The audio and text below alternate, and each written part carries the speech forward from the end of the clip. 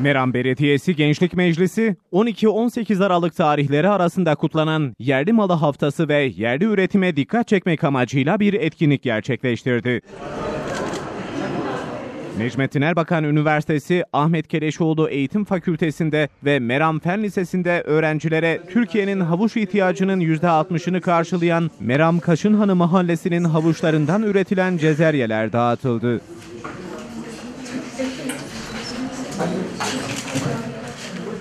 Meram Belediye Başkanı Kavuş, etkinlikte imzası olan Gençlik Meclisi Başkan ve üyelerini tebrik etti.